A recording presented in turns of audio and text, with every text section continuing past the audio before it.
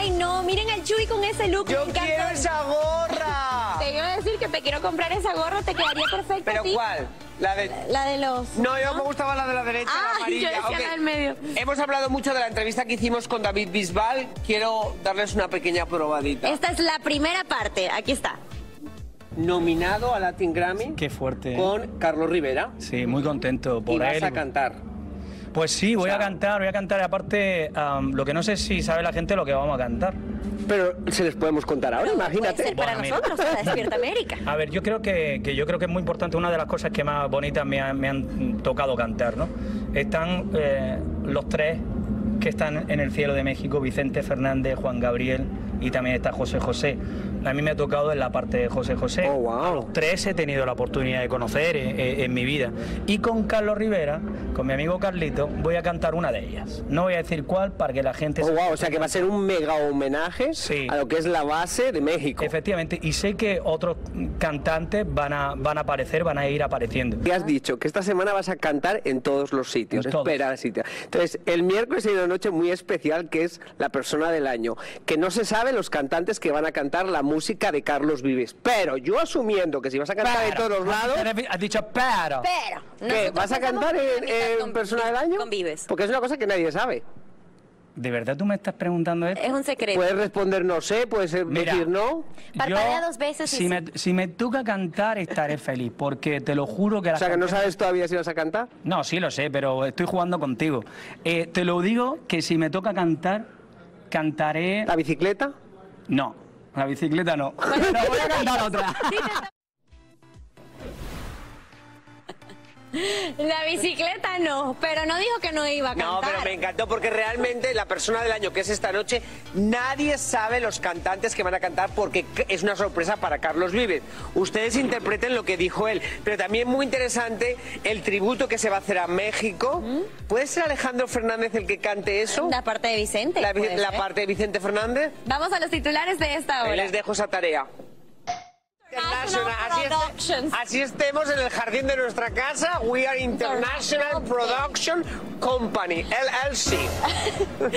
International es lo que vamos a ver en esta próxima entrega de los Latin Grammy porque definitivamente que hay estrellas y talento que vienen de todas partes del mundo. Mark Anthony representando a Puerto Rico es el productor ejecutivo de un momento especial que vamos a ver dedicado a la salsa. Karim, uno de los más esperados, cinco nominaciones al Latin Grammy. Yo voy a salir corriendo cuando lo vea en la alfombra y voy a decir, soy amiga de Yomari. No quedes como muy fanática y todo va a estar bien. Ok, Juan Luis Guerra es uno de los grandes, todo el mundo lo ama. Y no entrevistamos a David Bisbal, que lo amamos y lo queremos, nos habla de muchas cosas. Tiene y Jessy navideño. Intenta, intenta humillarme. Pero yo, como el ave fénix, bueno, ustedes digan, miren esto. Triunfó. No, bueno, tampoco, tampoco, pero mira. Oye David, pero también eres de esos artistas que son como la pu- les abres la puerta a la nueva generación Ah, de la sí, música. sí. Y tú tienes, David tiene como el amuleto de la suerte. La segunda canción que cantó Nodal con David. Es verdad, la de probablemente. O sea, ¿Y ya lo viste? algo haces que después se saltan al estrellato. Tú, tú eres, tú eres como... Mira, yo con, con Cristian Nodal tengo, un- tengo una anécdota espectacular. Me acuerdo que fuimos a... a- estás en lo más ¡Jay yo, yo iba a decir, yo conozco a J. Pero no a J. Joe. Oh, wow. Ay, qué risa. humble, humble. Oye, pero Ay, escúchame. J-Lo. Eso- Ok, y además, además, Yo va a estar este viernes Sí, yo- yo no en sabía. Miami en tu concierto en primera fila. Somos lo máximo. Ay, Lo mismo tengo una colaboración con J. Joe, ¿sabes? Somos candela. ¿Cómo va a ser este viernes Por aquí favor, en no Miami? nos des más Bueno, cuerda. voy que a estar esto. guay. La verdad que va a ser una, como digo, una semana grande porque voy a estar cantando en todos lados y la culminación sería en el James and Knight Center en el vigésimo aniversario. Pero que ¿Cómo va- vamos? ¿Cómo vamos? eh? Mira, este movimiento que está Ay, haciendo. ¿Tú vas a bailar también? Este, este Eso movimiento que está haciendo es muy importante y está haciendo eso. Ese, me- de verdad, Yo lo yo aguanto, sí yo te lo pulsaría el botón. bailas. ¡Ay, Dios mío! Ok, es como un movimiento así, ¿entendí? Recuerda lo que dijo. Primero lo importante, que queremos muchísimo a David Bisbal y que quiere hacer futuro eh, Colaboración. colaboración con Jay Yo y ha tenido, saca un álbum de Navidad espectacular que yo sé que en España y en todos los lados va a sonar todas estas navidades esa música típica y tradicional con la voz de David Bisbal. Se llama Todo es posible en Navidad y sale este viernes. Yo estoy segurísima que los chicos en casa ya están googleando, ¿verdad? Ya van a reservar en Spotify, ya van a poner en el playlist el nuevo álbum navideño de Bisbal. Claro. Pero Ay, sí.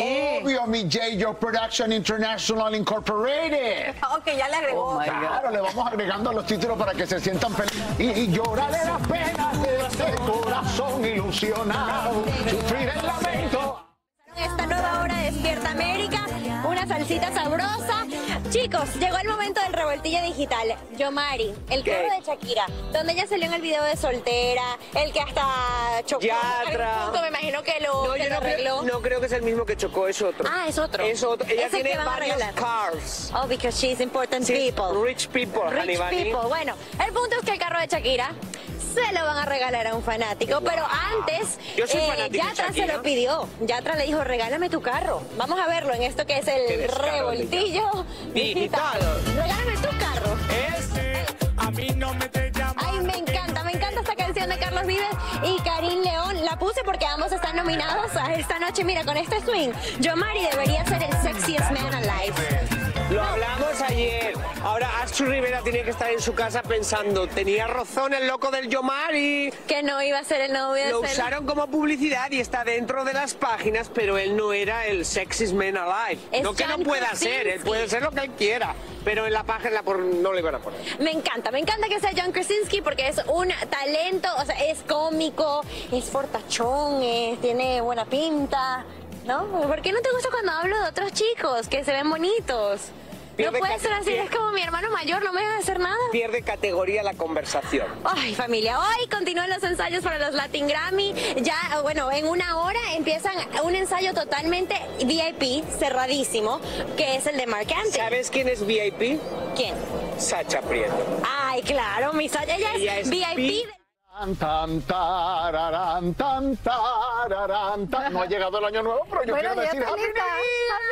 New Year. Mi Tania querida, mira aquí con mi Happy New Oye, tú Year. eres como Santa Claus que vienes a llegar, eh, anunciando tu llegada. Pura sorpresa, mi Tania, porque la Sí. vida es eso, para pasarla Claro. bien. Cuéntame Bueno, qué tienes hoy en la redacción. Fíjate que te tengo malas noticias para ¿Qué? Natanael Cano porque fíjate que, ¿te acuerdas que Positivo. esta estuvo muy bonita porque tuve la oportunidad de ir a, a visitar la Euforia Casa Creator, que la- es un Pero espacio. ahora es cuando Chile Verde le vamos a dar sabor a ese caldo. A. Y ahora nos vamos con J. Joe International Uh, Production oh, yes. Incorporated desde la sede de los Latin Grammy. Chicos, adelante. Ay, mi Raúl, no le sigas ya eso es como un trabalenguas. Miren, aquí la están viendo, estamos compartiendo abracitos y esta mañana con Nicole Horvath. Ella está nominada no solamente en una categoría, sino en dos, a esta próxima entrega de los Latin Grammy. Nicole, bienvenida a Despierta América. Gracias por madrugar y estar aquí con nosotros hoy. Para mí es un placer madrugar para verlos a ustedes. Ok, pero miren lo impresionante de la historia de ella.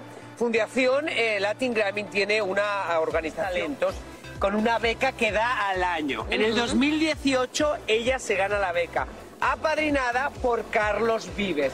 Carlos Vives, tú eres barranquillera. Barranquillerísima. Carlos Vives este año es la persona del año y tú estás nominada dos veces. O ¿Qué sea- significa Carlos Vives en tu vida? O sea, ¿es el talismán de, de la suerte? ¿Sí o no?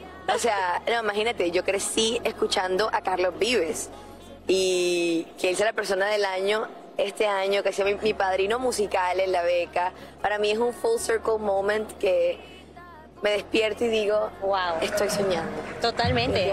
Es un sueño hecho de realidad. Yo me acuerdo que te conocí en Las Vegas en el 2018 hablando de esto, que era una chica que venía eh, componiendo con demasiado talento. Estudiaste en Berkeley School of Music y recibiste esta beca de parte de Carlos Vives y ya ahí cambió todo para ti, Nicole. ¿Qué has aprendido desde el 2018? Desde esa chica que conocí en Las Vegas a la chica que se para aquí de frente de mí el día de hoy, nominada en dos categorías.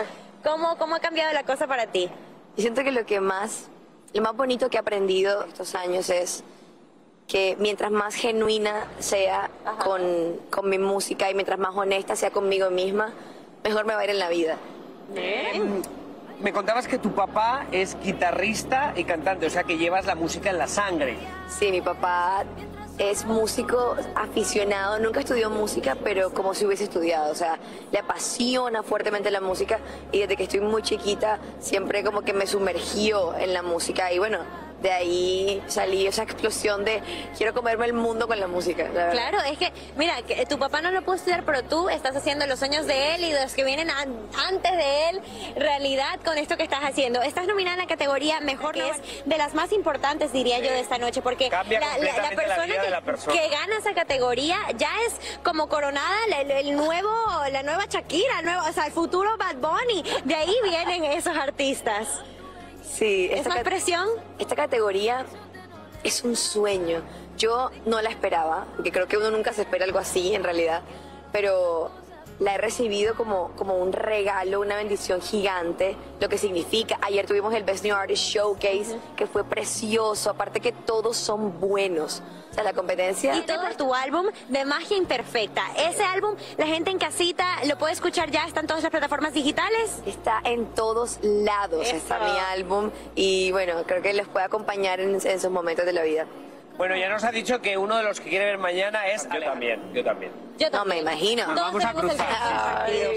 Bueno, mucha suerte mañana. Estaremos ahí presentes. Te vamos a dar la patadita de la suerte para estas dos categorías. patadita. Pa- J-Lo patadita de la suerte y con esto nos vamos al estudio, chicos. A la cuenta de tres. Uno, Uno, dos, dos. tres. Qué buena patada de la suerte. Doble patadita de suerte. Así es. Tenemos más.